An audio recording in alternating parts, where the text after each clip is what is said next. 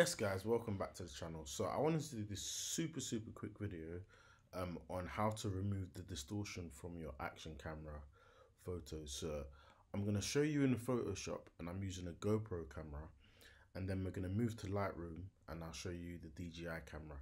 So it's super super easy. I've done a, a tiny bit of editing on this picture already but as you can see there's so much distortion around here. If you can see this building it's curving to the side.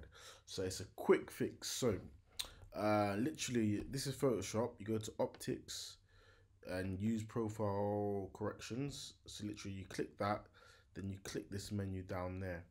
As i've already done this before it's already fixed it.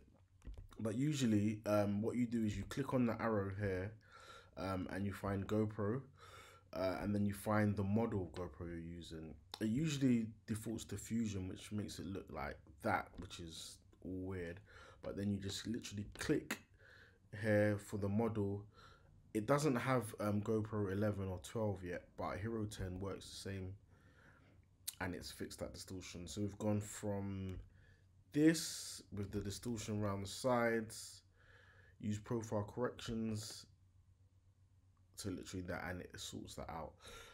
Quick, easy fix. Literally the same thing again with uh, Lightroom. So we'll jump to Lightroom in a second. Let's just let that load up. Uh, Lightroom. So this is with the DJI um, action, DJI Action 4. So as you can see, look at the bridge. It looks like the bridge is curved. Just looking at the top, you've got parts of the lens there. So what you do again, you go to optics, this is Lightroom, uh, remove chromatic aberrations, I click that and then enable lens correction. So literally what it does, it corrects the lens. So you click the camera icon there, um, make, so this is DJI, DJI, sorry. Um, as you can see, DJI Osmo Action's already fixed it. If you click down, if you have a different um, action camera model, you can literally just click on there. But DJI Osmo Action, click that, and that's literally done, and that's fixed it. So the I haven't edited this picture at all, but this is the before. That's the after. So guys, this is the before